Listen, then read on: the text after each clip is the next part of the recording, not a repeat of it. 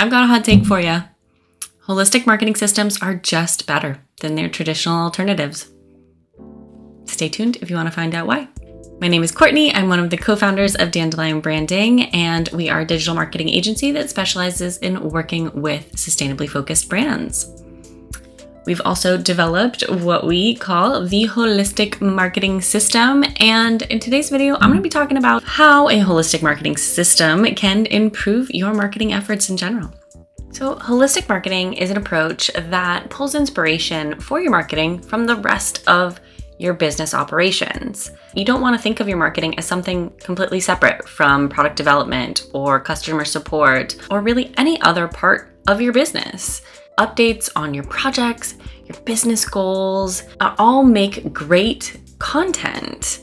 And it gives your audience a really authentic glimpse inside of your business and how you run things, which is a much more transparent way of operating. And it's really kind of humanizes your brand in a way that allows for a lot more connection with your audience. Operating holistic marketing system really reduces the amount of time spent in sort of these interdepartmental conversations you know, rather than having a bunch of different meetings that are all siloed and specific to one singular department, holistic marketing really seeks for your marketing to be a part of all of those conversations that are happening throughout your business.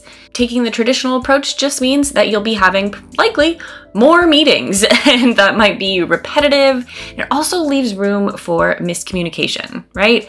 If your marketing is outside of these sort of meetings where you are talking about the product, where you are making decisions about launches, about, you know, uses of products, about the development, about everything that went into that product. If marketing is not a part of those conversations from the beginning, there is definitely the possibility for things to be miscommunicated or lost in translation somewhere along the way. It's like a game of telephone. So, holistic marketing really takes out a lot of those sort of unnecessary middle steps because your marketing department should be a part of the conversations. Secondly, holistic marketing really relies on data driven insights. Oftentimes, with larger companies, we see decisions made based on vanity metrics like view count or impressions or likes or comments. These are all sort of vanity metrics that are not necessarily tied to your other business goals, right? We view social media as a tool to get your users to your website where they can actually take action. The only purpose of making content for your business is to drive traffic to your website where folks can actually take action, make a purchase, complete the conversion of some sort. And if you're making goals about social media that are just based on these sort of vanity metrics, that can really lead your business astray right? You might be following trends, you might be growing an audience, but is that audience going to actually help grow your business? Sometimes yes, sometimes not. And lastly, because holistic marketing is more closely tied to your overall business goals, those goals are more long term. You are not going to be making knee jerk reactions based on, you know, if one singular post did or didn't work. That's not going to throw your strategy out the window. But if you were looking at marketing from a more traditional pr- approach, you might feel inclined to do that. You might look at one post that really worked and say, okay, we got to lean all the way in and let's make only that.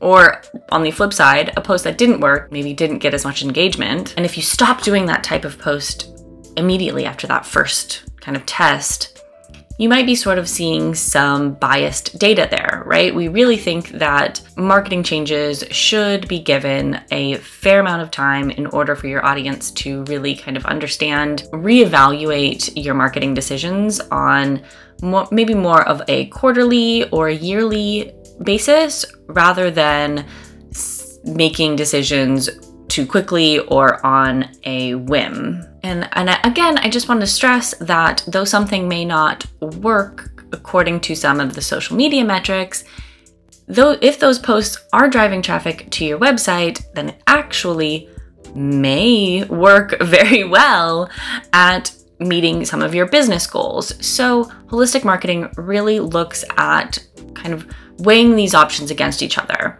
And we wouldn't make decisions based on strictly social media metrics if certain posts were actually contributing to meeting business goals. Traditional marketing would likely have to pivot, right? And there's more of a short-term focus on trying to, you know, get attention, trying to grow, grow, grow. That is not the approach of a holistic marketing system, uh, which are really built to run smoothly over a longer period of time and really build in authentic connection and retention throughout that process. It's a little bit of a different perspective than traditional marketing, and ultimately, your business is one entity. So your marketing should absolutely be focused on helping you achieve your business goals. If you are interested in learning more about holistic marketing for your business, please get in touch. Myself or my co founder Ob would love to chat with you. A holistic marketing strategy is a great place to start in order to start developing these goals for your business that connect all of the platforms that you have a presence on and give you a really nice plan to move forward, how to show up on all of those different channels in the most effective and efficient way. So, thank you so much for watching. Definitely stay tuned for more content around holistic marketing, and I will see you next time.